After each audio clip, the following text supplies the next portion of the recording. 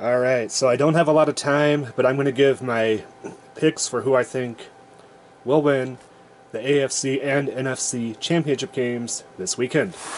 okay. So first up, we have the Niners at the Rams. The Niners have the Rams number. They beat them six times in a row. Will this be lucky number seven for the Niners, or will the Rams be able to break the curse at lucky number seven? I gotta say, I think the Niners are going to win. They just have their number, and when sometimes when a team has a team's number, it's just hard to beat. Look at Colts at Jacksonville, for example. so Niners move on to the uh, NFL Big Bowl, and for the next up to represent the AFC, we have what is it? Bengals at the Chiefs. Bengals at the Chiefs. Uh, Cincinnati is an underdog here, and I think that they will not be able to pull off the upset.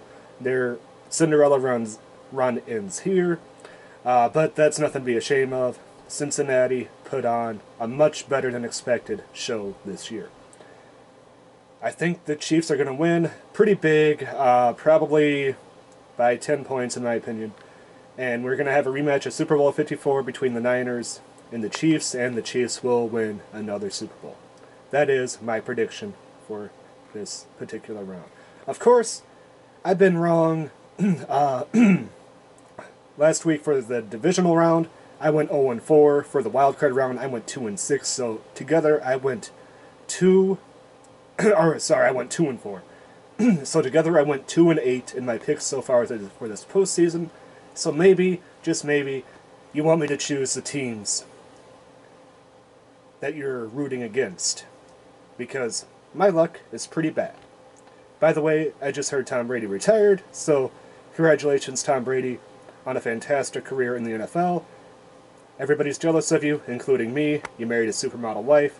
You uh, won seven Super Bowls, but I have to give credit where credit is due. Congratulations to Tom Brady in his retirement. Yeah, that's it. Niners Chiefs represent a rematch of Super Bowl 54. All right, signing out.